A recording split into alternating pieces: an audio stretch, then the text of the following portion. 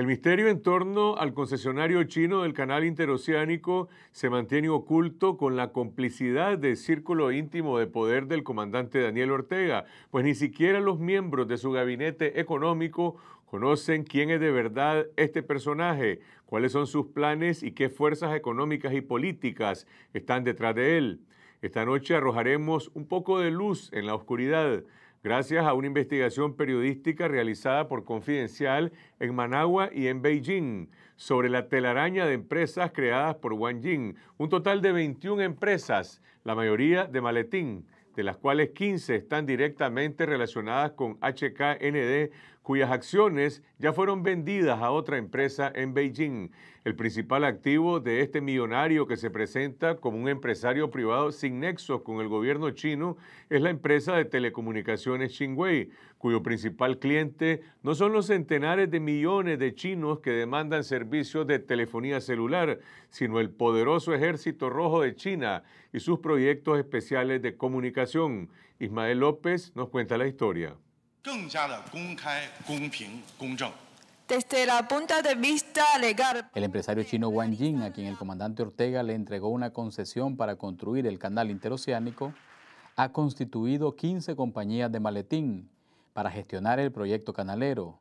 En los documentos oficiales solamente se menciona tres, HKC en Hong Kong, HKND Group en Islas Caimán y EDGI registrada en Nicaragua, aunque ante la opinión pública hay un esfuerzo deliberado de solo hablar de HKND Group.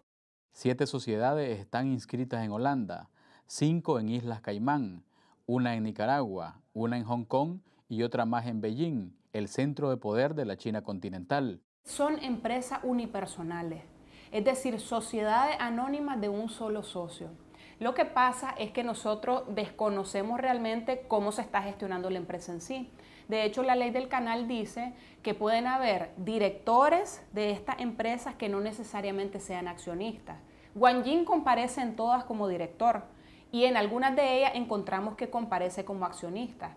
Ahora, ¿qué hay realmente detrás de Wang Jing? Efectivamente hay una posibilidad tanto de que sea él como individuo emprendiendo el proyecto, pero también que esté actuando como testaferro.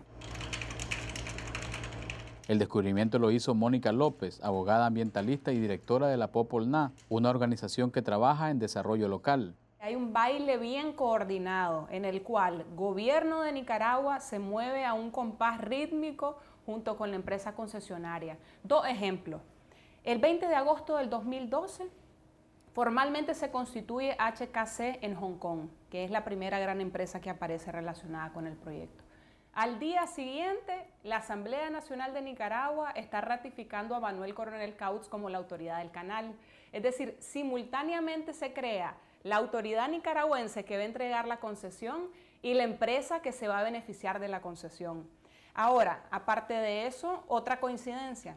El 31 de octubre del 2012, el mismo día que Manuel Coronel, Wang Jing y el presidente Ortega firmaron el documento llamado Acuerdo de Cooperación en el que reiteran la entrega de derechos exclusivos a este inversionista, exactamente ese mismo día ocurre una transferencia de acciones de la empresa en Hong Kong a una empresa que encontramos está registrada en Beijing, China continental, cuyo nombre es Beijing Dayang New River Investment Management Limited. Beijing Dayang cobija la red de empresas está inscrita en Beijing. El 100% de las acciones están a nombre de Wang Jing. Hay que preguntarse por qué hay una empresa en China continental controlando todo y por qué esa empresa tiene además vínculos con una concesión para un puerto de aguas profundas en Ucrania, en Crimea. Esos entramados corporativos pueden ser utilizados con propósitos lícitos, también con propósitos ilícitos. ¿Qué cosas pueden considerarse como ilícitas, que no, que no serían admisibles? Bueno, crear un entramado patrimonial para que el centro patrimonial se aleje de donde están ocurriendo los riesgos de una obra como esta, pues por ejemplo. Entonces, una de las, yo, no lo sé si ese es el propósito, pero debo pensar que por ahí debe andar el propósito. Es decir, que los riesgos derivados, ¿verdad? Es decir, de cualquier tipo de la construcción de una mega obra no alcancen, ¿verdad? a los patrimonios que interesa proteger que estén de alguna manera detrás de esa construcción. Entonces construyo una, una tela eh, de araña, como vos bien has dicho, ¿verdad? De este, participaciones, creaciones, derechos, etcétera, y un entramado corporativo, de manera que nunca se llegue a afectar al verdadero responsable de la comisión, por ejemplo, de un daño. El jurista Alejandro Aguilar es asesor empresarial. ¿Cómo va a ser y cómo va a distribuir después esas acciones y a quién se las va a entregar? Y eso ya no, no, no, no lo sé, pues, ¿verdad? Pero la propia estructura es una estructura bastante rara. La estructura unipersonal, ¿verdad? En el mundo se utiliza, pero este, para estas magnitudes de negocio es realmente inusual. Será un éxito y va a traer, va a ofrecer riqueza. Guan Yin es socio mayoritario de 21 compañías. Su activo más preciado es la empresa de telecomunicaciones Chingwei. El gobierno de Nicaragua le ha entregado jugosas concesiones de telefonía e internet. Hasta ahora no ha invertido los 2 mil millones de dólares que prometió. Nuestro hermano Wang Yin. Ninguna de sus otras 20 compañías fue creada con más de 200 mil dólares, pero pretende construir un canal por Nicaragua valorado en más de 50 mil millones de dólares. La empresa EDGI, registrada aquí en Nicaragua, fue constituida con un capital social de 400 dólares. Por ejemplo, HKC, que es la de Hong Kong, fue constituida con un capital social de 1.200 dólares. Es decir, uno se pregunta cómo puede un Estado entregarle a empresas de este tipo que no existían previamente, que fueron inventadas para este proyecto, con ese nivel de capital social como punto de partida, una concesión para un megaproyecto como el canal y los otros que están vinculados. Buscando datos en líneas y haciendo solicitudes a los registros, la abogada López se encontró con muchas sorpresas. En mi opinión, y en la práctica, lo que este entramado denota es que existe una gran gama de empresas de maletín o empresas fantasmas inventadas específicamente para gestionar este proyecto, pero sobre las cuales no tenemos ningún tipo de antecedente. A nosotros nos preocupa que esa información no sea pública, que hay un esfuerzo deliberado de omitir toda esta información. HKN significa Hong Kong Nicaraguan Development Groups. Entonces es un grupo de empresas de diferentes partes que están realmente promoviendo el desarrollo del canal. Hemos dicho siempre que incluso HKND y el propio señor Guanyin es un promotor de inversiones de diferentes partes del mundo. Incluso en la construcción del canal estamos seguros que se va a incorporar empresas de todo el mundo. Telemaco Talavera, vocero del proyecto canalero, respondió así cuando se le consultó sobre quién sería responsable. La responsabilidad es central de él y eso no se diluye ningún concepto. No hay ningún desastre que va a pasar, somos positivos, este canal está hecho con todas va a ser hecho con todas las medidas de prevención y realmente para beneficiar al pueblo de Nicaragua y el mundo entero de su beneficio. O sea que puede pasar que nos eh, choque con la Tierra a otro planeta, pero eso no vamos a pensar que va a suceder. Todas las medidas están siendo tomadas. Los preparativos para entregar la concesión a Wang Jin comenzaron el 13 de julio del 2012. Ortega nombró como autoridad del Gran Canal a Manuel Coronel Caud.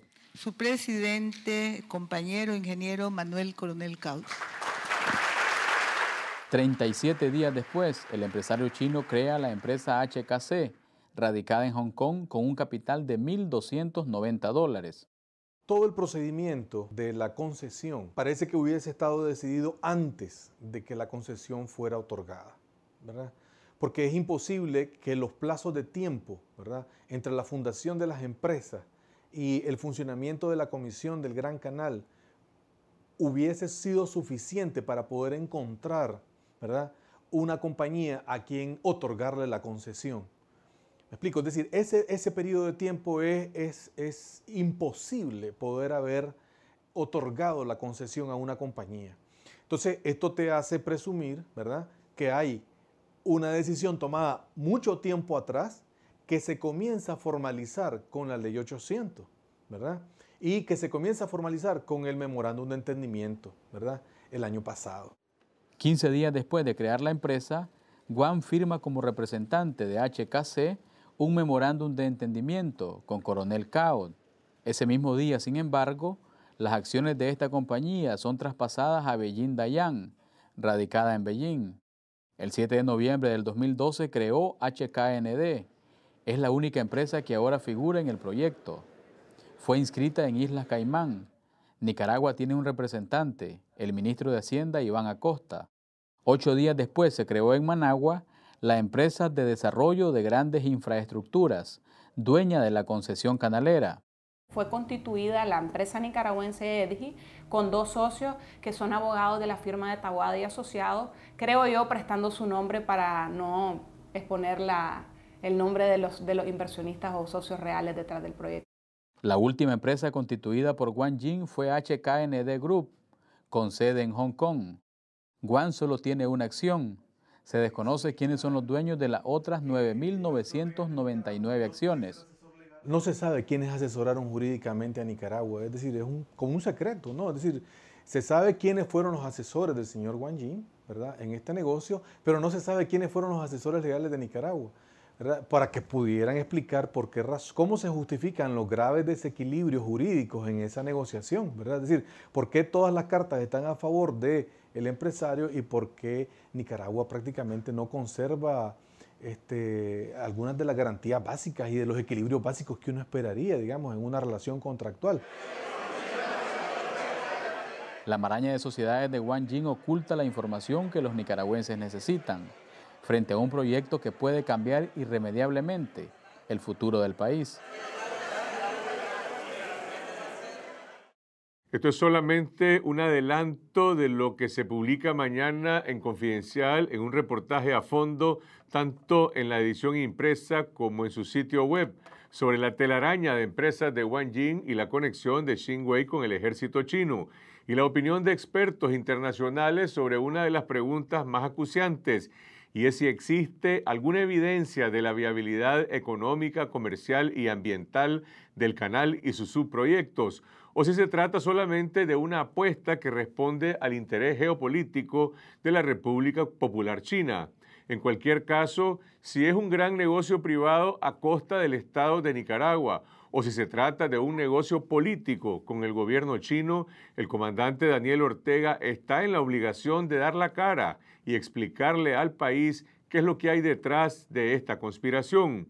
Así como hace unas semanas alegó que el lago Cocibolca estaba contaminado y que por eso se justificaría su destrucción total como reserva de agua con una zanja de 105 kilómetros, ahora debe brindarnos una explicación sobre los interminables negocios de Wang Jing a costa del Estado de Nicaragua.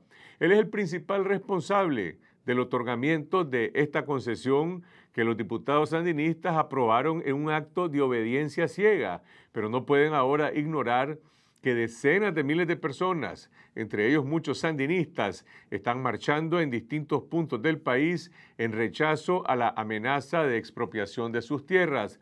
¿Por qué no le presenta Ortega a la población el censo de las 7.000 familias que serán expropiadas por los chinos? ¿Por qué no le dice al país dónde están los 50 mil millones de dólares que supuestamente Wang Jing invertiría con un consorcio internacional en el canal interoceánico? ¿Por qué no somete el gobierno los estudios económicos, técnicos y ambientales del canal, si es que de verdad existen esos estudios, al escrutinio de expertos independientes? El secretismo ha sido hasta ahora la única respuesta a todas estas preguntas, pero poco a poco, como lo demuestra este reportaje periodístico, se está conociendo la verdad sobre el gran negocio del canal. Los invitamos a leer la historia completa en el sitio de www.confidencial.com.ni.